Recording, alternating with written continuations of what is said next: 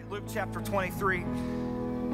It says, There were also two other criminals, two others, criminals, led with him to be put to death. And when they had come to the place called Calvary, there they crucified him and the criminals, one on the right hand and one on the left. Then Jesus said, Father, forgive them, for they know not what they do. And they divided his garments and cast lots. And the people stood looking on, but even the rulers with them sneered, saying, He saved others. Let him save himself if he is the Christ, the chosen of God. The soldiers also mocked him, coming and offering him sour wine, and saying, If you are the king of the Jews, save yourself.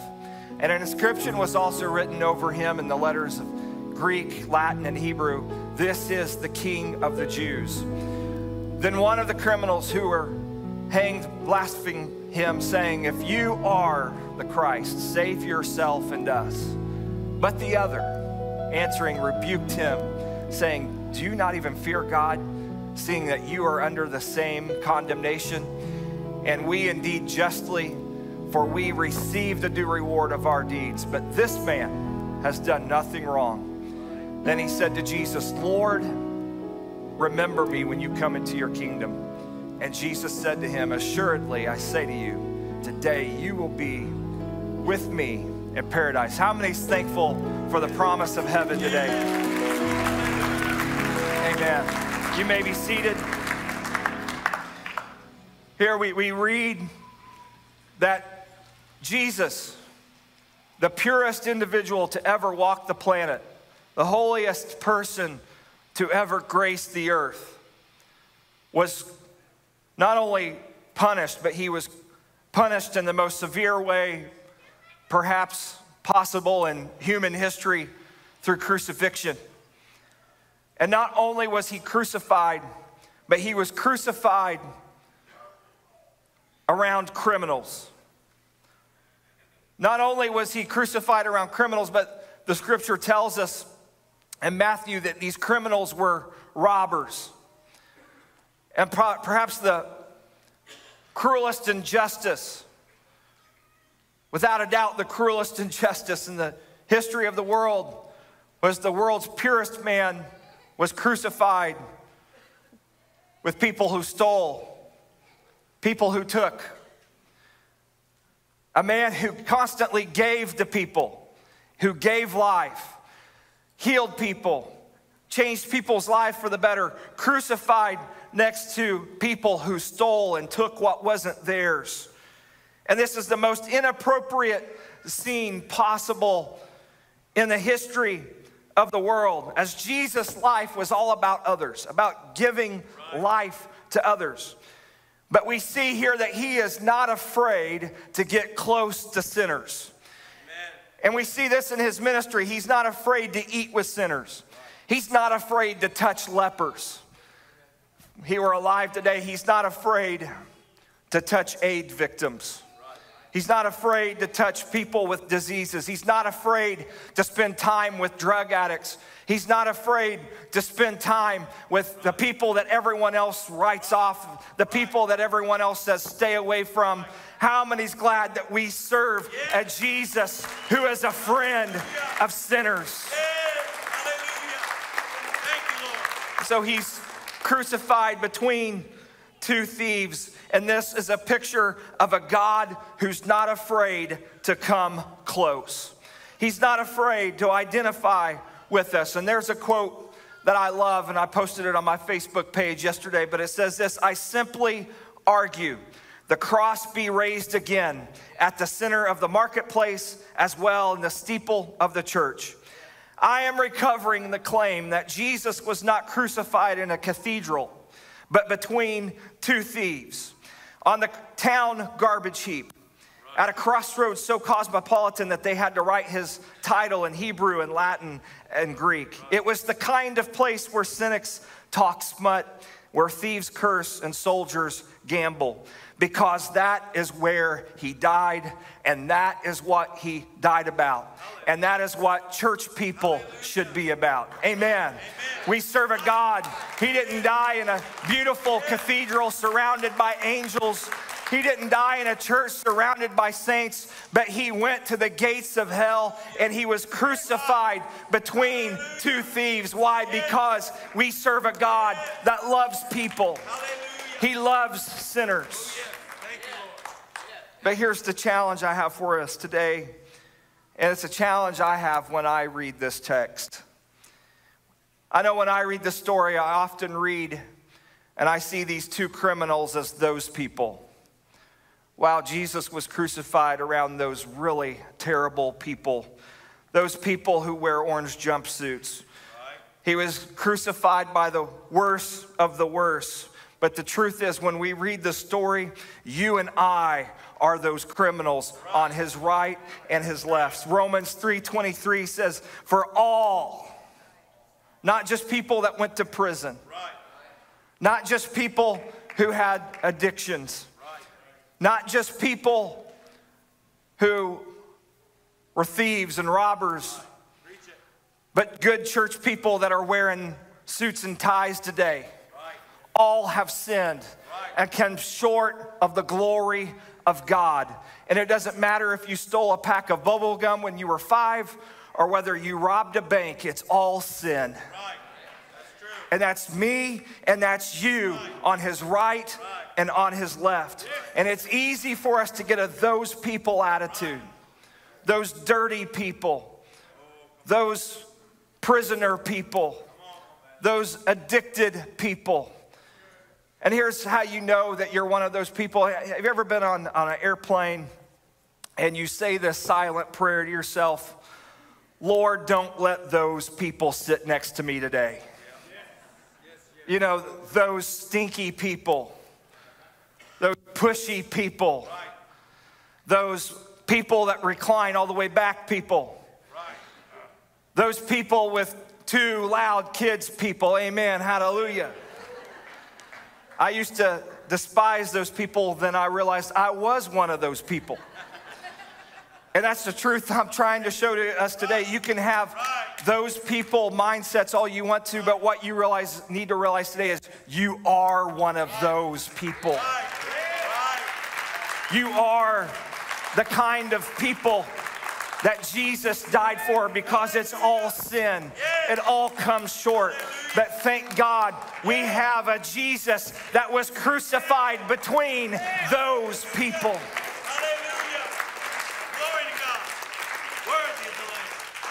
Romans 6:23 says for the wages of sin is death but the gift of God is eternal life in Christ Jesus our Lord. The wages of sin is death. It doesn't matter what kind of sin.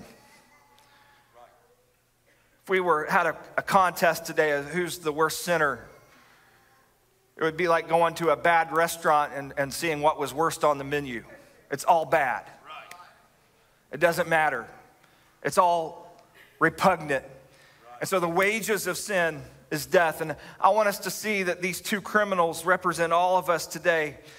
And they're a witness to the love of God. We are on his left, we are on his right.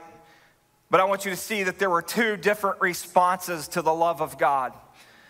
And what I'm so glad about today is that we serve a God who loves people equally. He loves people who will accept him, he loves people who will deny him, but he still loves them.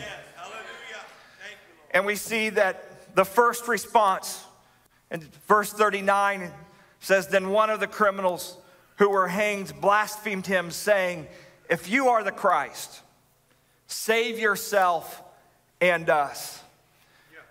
This man has the wrong response. Other translations say that, Aren't you the Christ? Save yourself, save us. This man has a faulty idea of what salvation is. He's mocking the God of the universe, saying, If you really are God, save us. And we serve a God today which was 100% God, he was 100% man. And how many know that the man that was on that cross was the God of all creation? That was God on that cross. And he could have whispered a prayer, and 10,000 angels could have rescued him from that cross. But here's the downside you and I wouldn't be here today. And he saw the big picture of what was important. And this man challenges God. He challenges him save me, get me out of this situation. And, and, and this, this criminal's attitude is an attitude of entitlement. Right. His attitude says, God, you deserve to get me out of this mess. I, I, I deserve to get out of this mess. I deserve for you to help me. And, and here's what we have to realize is that God does not owe us anything. Right. If you're, if you're here today and you've had a, a hard life, I'm really sorry about that. There's some things that we just can't explain. But, but even then, God does not owe us anything. Some people say, Well, I just wish God was fair. You know what fair would be? The first time you sinned, a lightning bolt would come out of heaven and take you out. That would that is fair. How many knows we serve a God of mercy and grace? And, and God does not owe me. God did not owe me the cross. Jesus does not did not owe me to, to heal my son supernaturally. He didn't owe, owe me to, to live in this great country today where we can worship freely, but He did it anyway. And how many today are thankful for the gifts of God and that God has been gracious to us and God has been kind to us? How many thankful today for the kindness of God? So this man says, God owes me. I shouldn't have to suffer. I shouldn't have to admit my guilt. I shouldn't have to repent. What this man failed to realize is that he's a criminal on a cross and God doesn't owe him jack squat. And he's got this attitude that's so prevalent right now in our culture is everybody owes me. He doesn't have a heart for God. He doesn't really care who Jesus is. He just wants to get out of the mess that he's in. And I see this so often when I talk to people, they have a wrong view of salvation. And I just want to tell you here today if you give your life to Jesus, I can't promise you that your income will go up. I can't promise you that your marriage will instantly get better. I can't promise you that your kids will become perfect kids or you'll get that new car. And that's what the view of salvation that this man had is God, just get me out of my mess. He thinks that it means that he will simply get out of the, his mess if Jesus saves his life and saves his own life. But I want to tell you today what's most important isn't that God gets us out of the mess we're in right now. What is most important is that you are saved. Yes, that you have your eternity in heaven. That is the most important thing today. That's more important than your kids going to college. That's more important than your healing. That's more important than that job opportunity is that you go into eternity saved. Is anybody glad you're saved today? Is anybody glad that you repented of your sins and that you went water and the waters of baptism and they're buried forever? What we saw in this baptistry tank today is that's what's important. So his attitude is God, just get me out of this mess. I don't care who you are. This man's not really particularly concerned about changing his life. Just get me out of this mess. And being saved isn't about God getting you out of your mess, it's about Him changing your heart so you can be ready for eternity. Everybody say eternity. Eternity is a long time. I want to tell you something today. I'm, I'm not one to endorse gambling, but it's one thing to gamble on a football game or a baseball game, but don't gamble with your soul. Don't play with your soul. We're playing for keeps today. You see, there's been people praying and fasting over the service. Why? Because eternity's a long time. And, and, it's okay if the soundboard goes out and we miss a few right. minutes of a song. All those things are temporary, but what isn't temporary is your eternal right. destiny today.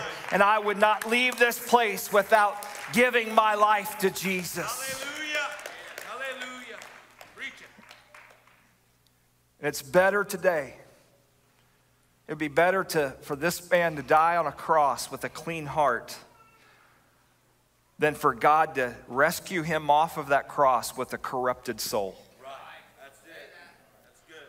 What doth it profit a man if he gain the whole world and lose his soul?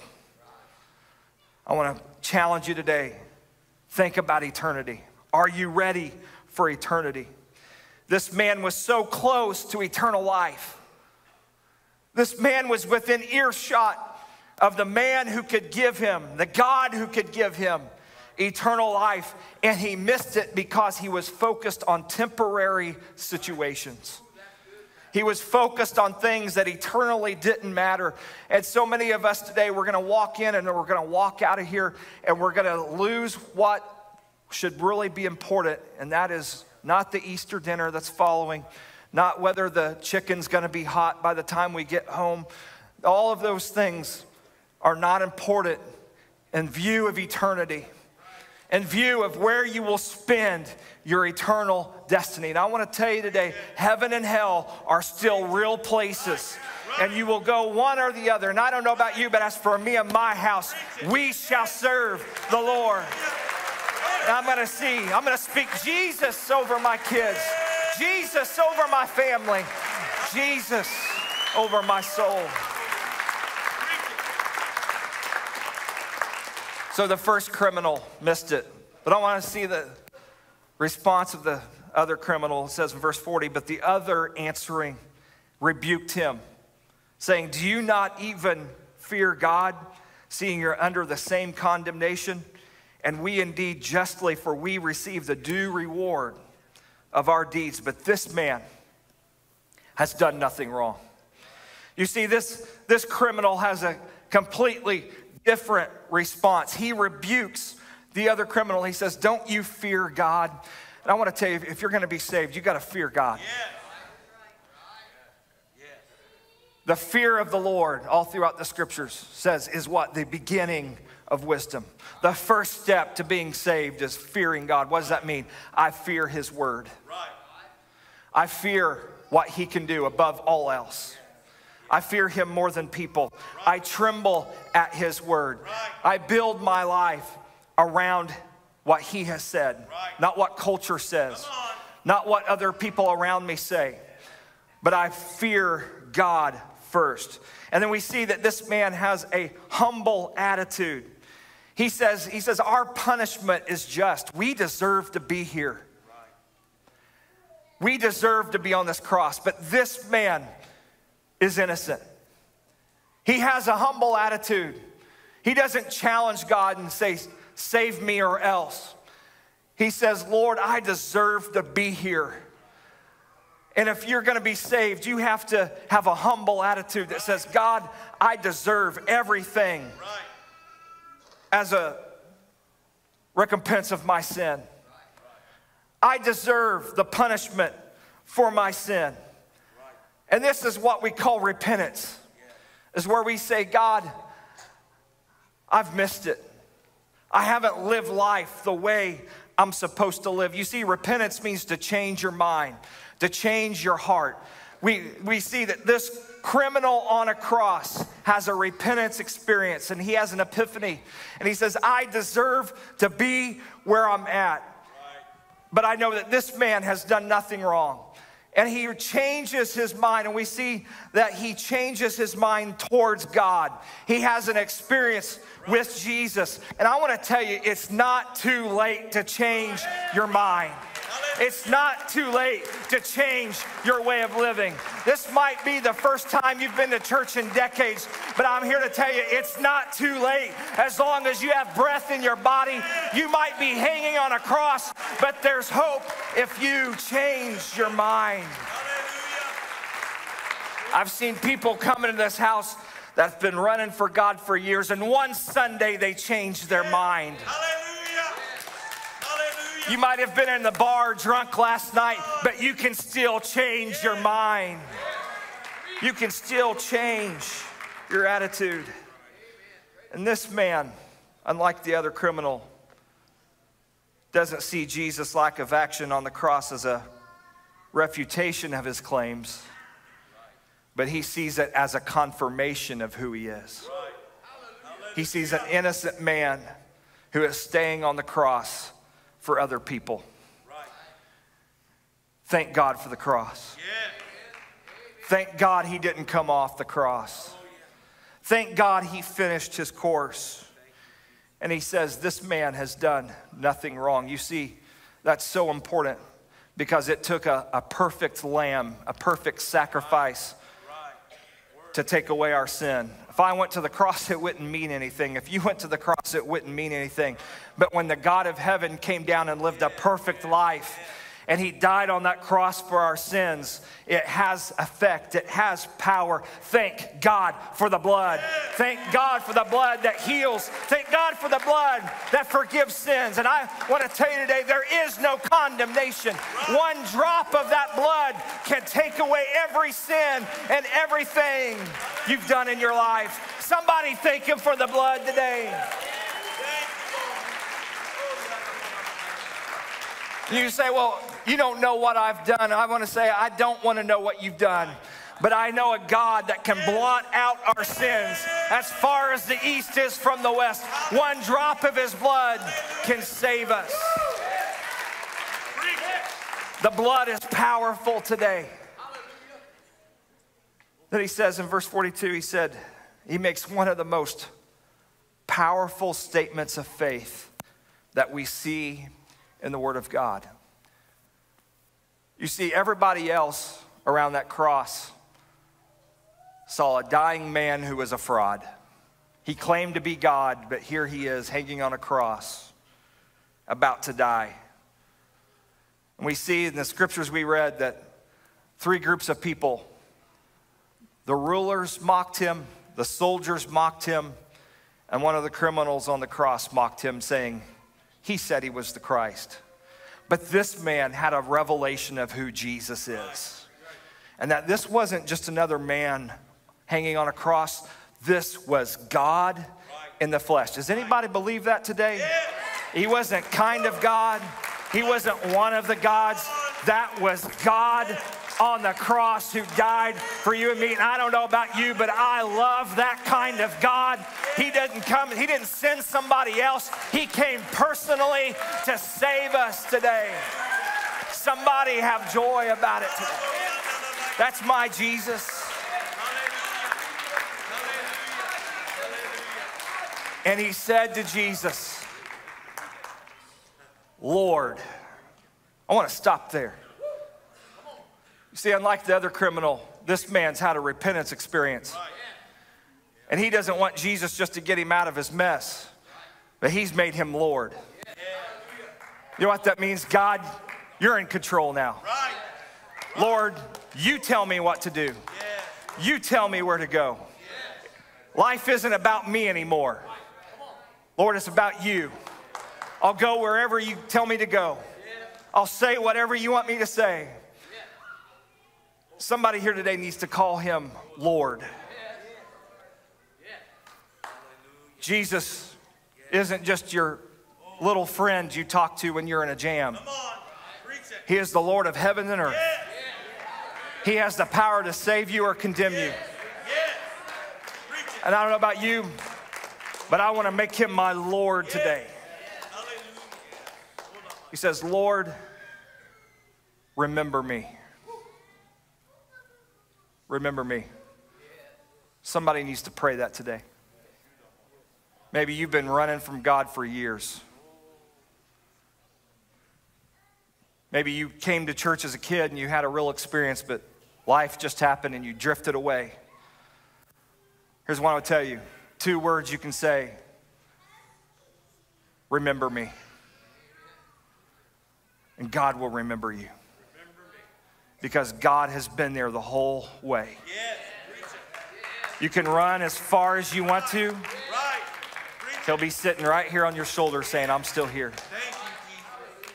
Thank you, Lord. Remember me. Somebody here today just needs, with a heart full of sincerity, say, Lord, remember me. I know I've been running. I know I haven't been living a life that's pleasing to you. And here's what I'm going to tell you this room's full of people who, at one time or another, just had to say, Lord, remember me. Right. We have, we've all dropped the ball. No perfect people here. Better that no perfect people allowed. Right. We're all sinners in need of grace. And he says, Lord, remember me when you come into your kingdom. You see, this man didn't see a dying false Messiah. He saw a God who he believed was coming back in power and in resurrection. And his kingdom is coming. What a great statement of faith that this man makes to this badly beaten, suffering Messiah. He believes that he is God in the flesh and that he will come back. And I want to tell you, Jesus is coming back with his kingdom. He is coming back in all power and authority. And I don't know about you, but I am ready for that day for Jesus to rule and reign upon this earth. Thank you, Lord, remember me when you come into your kingdom. And Jesus says, verse 43 Assuredly, I say to you, today you will be with me in paradise.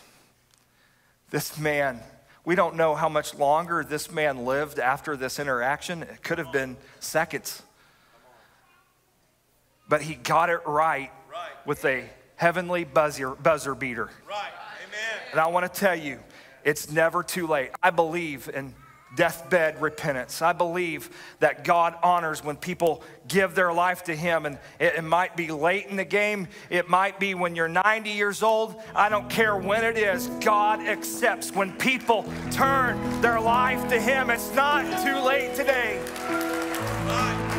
And this is the greatest miracle. A man who is seconds away from being lost forever. He was seconds away from a, an eternity away from God. And I want you just to picture this with me. When Jesus takes his last breath, he goes to paradise for a few minutes. And walking into paradise with him is a thief, Right. Hallelujah. a robber, the least likely candidate. And he walks in with Jesus, and an angel stops him and says, Excuse me, sir, what are you doing here? And the criminal says, I don't know. The man on the middle cross said I could be here. And that's the story of all of us. I don't know why God chose me. I don't know why He had mercy on me. But I'm glad the man on the middle cross said, You will be with me in paradise. Today, today is the day of salvation. Today, God can change your life, not tomorrow. Today, we remain standing. Jesus said, Today, you'll be with me in paradise. Not you need to go to purgatory for a few years and pay. By the way, that's not in the Bible, but today. And here's what I would tell you today, you might not die today and go to heaven, but you can enter paradise in your heart. You can change some things in your heart. And today we're living for eternity. We're living for heaven. I want to tell you there, there's a, a day coming where there'll be no more sickness. There'll be no more pain. No more hospitals. No more wars. No more prisons. No more recovery centers. But that's not the best thing about heaven.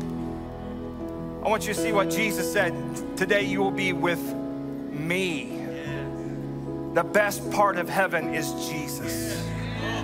The best part of heaven is being in the presence of God.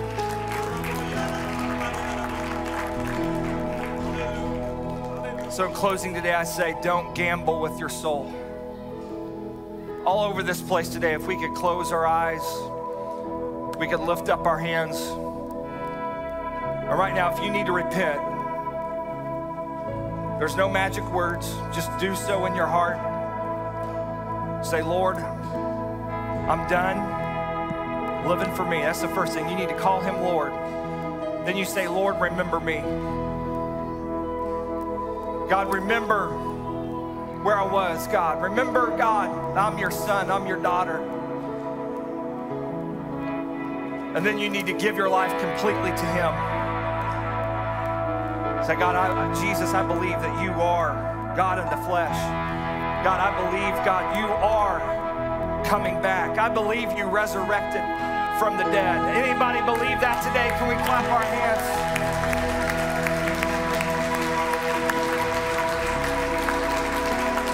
Now, here's, if you said that prayer today, come talk to Bishop or I. We'd be happy to give you a Bible study on some next steps you need to take.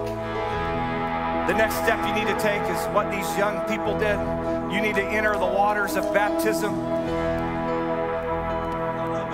How many's experienced that? No, that's a powerful experience. That's your next step.